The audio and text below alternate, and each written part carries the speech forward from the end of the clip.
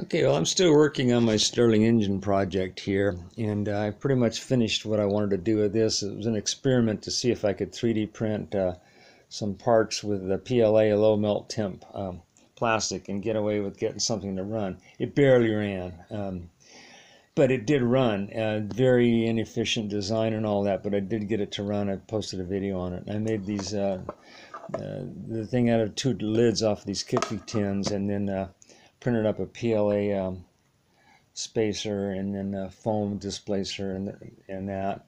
Um, this is what I was really going for was uh, this is a real good LTD Stirling. Runs off a cup of hot water versus cold.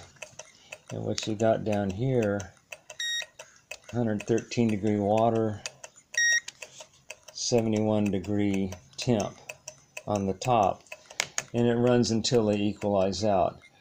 This is my latest acquisition. This is what I was really going for with that. If I could build one of those like that, then I don't have to worry about the PLA plastic melting. And that's when you take cold versus colder. And what this is here is this is the countertop here at 67 degrees versus ice water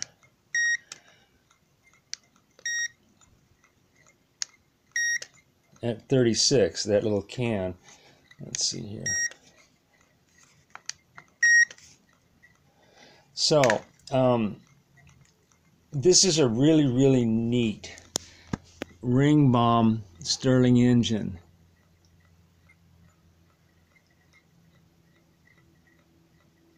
And how this works, it doesn't use a linkage to pull the displacer up and down like this or that one there it uses a magnetic coupling and it's real simple. It just has the uh, cylinder that goes up the piston that goes up and down there and on the bottom of the piston is a magnet like that that picks up the displacer and moves it up until it hits the top of the the chamber then it falls off by gravity.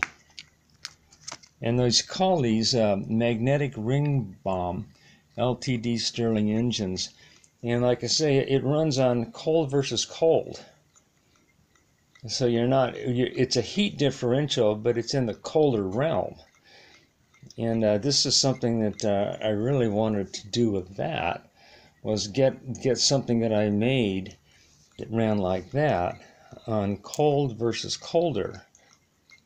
So anyway, that's where I'm at with this project is uh, I may be trying to make one of these guys right here that runs on cold versus colder.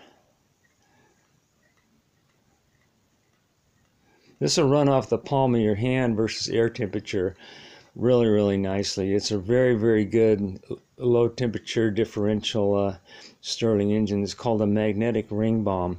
About 30 bucks on um, eBay. Very precision. One of my favorite little uh, store-bought uh, devices is this uh, magnetic um, Ringbom that will run on a very low temperature differential. That's where I'm at with this um, Stirling project. It's fun, something different. Thanks for watching.